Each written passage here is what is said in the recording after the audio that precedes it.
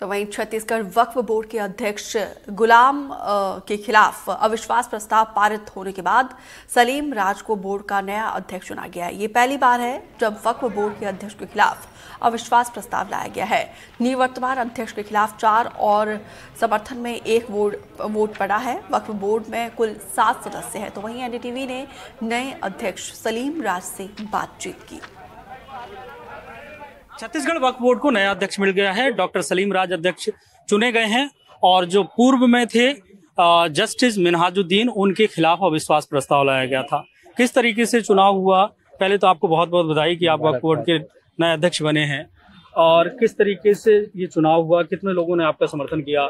छत्तीसगढ़ राज्य वक्फ बोर्ड में माननीय सदस्य महोदय जो दलगत राजनीति से ऊपर उठकर वो आपकी खिदमत करने के लिए मुझे अध्यक्ष पद का निर्वाचित किया गया जिसके लिए मैं बहुत बहुत ये सदस्य महोदय का शुक्रिया अदा करता हूँ कि उन्होंने वाप की और कौम की खिदमत करने का मुझे मौका दिया, जो हमेशा सदस्यों की बातों में खड़ा उतरूँगा और कभी भी कौम की जो ज़रूरत पड़ेगी, कौम की खिदमत के लिए खड़ा हूँ।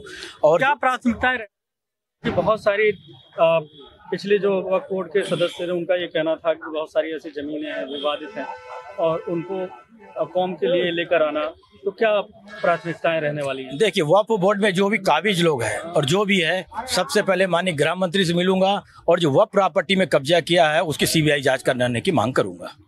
अच्छा दूसरा एक और प्रश्न ये है कि अभी वक्फ बोर्ड में एक नया बिल आया है 2024 क्या उसका आप समर्थन करेंगे? नहीं वक्फ बोर्ड 2024 का संशोधन देख ले क्या कार्य कार्यशैली है और समर्थन के लायक होंगे तो बिल्कुल मैं समर्थन करूँगा। आपकी पार्टी मोदी जी की मंशा है अमित शाह की मंशा है उसको नहीं किया जाए तो आप समर्थन करेंगे? क्योंकि वह एक्ट में पूरा पढ़ाई नहीं अध्ययन ही नहीं किया हूँ तो मैं कैसा जवाब दे पाऊँ? अध्ययन करने के बाद बिल्कुल जवाब दूँगा और समर्थन की ज़रूरत पड़े समर्थन दूँगा। अच्छा कितने लोग थे आज यहाँ पे मौजूद? आप भी सदस्य हैं। टोटल जो है सात सदस्य हैं उसमें से पाँच आज उपस्थित हैं और चार लोगों ने जो है डॉक्टर सलीम राज को अध्यक्ष जो है निर्वाचित किया मतलब समर्थन किया उनके अध्यक्ष बनने कौन कौन नहीं आया था यहाँ पे शामिल नहीं हुआ इस अविश्वास जस्टिस मिनहाजुद्दीन साहब और मैडम इफ्फत आरा ये दो आज उपस्थित नहीं हो पाए नया चुनाव हुआ है। अविश्वास प्रस्ताव पहले लाया गया, जिसमें पाँच सदस्य मौजूद थे तो जो पूर्व में अध्यक्ष रहे हैं, वो यहाँ पे मौजूद नहीं रहे। तो उनके खिलाफ अविश्वास प्रस्ताव लाया गया और नए सदस्य भारतीय जनता पार्टी से आते हैं, डॉक्टर सलीम राज, उन्हें चार एक से उनको जीत मिली है और वो नए अध्यक्ष उन्होंने कहा है कि वक्त बोर्ड को लेकर और कौम को लेकर बेहतर काम करने की वो कोशिश करेंगे। उन्होंने जो वक्फ अमेंडमेंट बिल 2024 आया है, उसको पढ़ा नहीं है। पढ़ने के बाद अगर उसे ज़रूरत पड़ी तो उसको वो समर्थन भी करेंगे।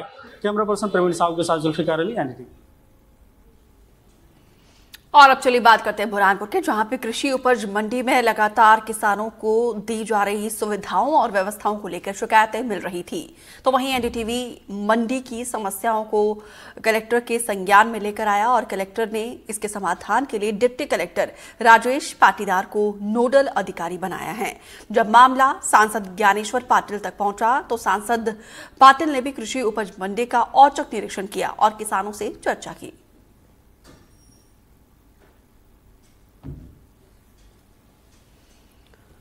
तो वहीं झारखंड के गिरिडीह जेल में बंद कुख्यात गैंगस्टर अमन साहू को ट्रांजिट रिमांड पर रायपुर लाया गया है।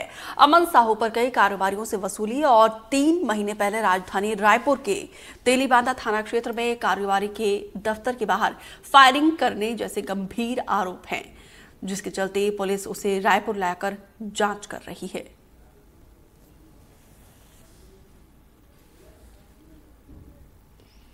तो वहीं गुना में एक बार फिर से एनडीटीवी की खबर का बड़ा असर हुआ। यहाँ पे शिक्षा विभाग में मनचाही पोस्टिंग और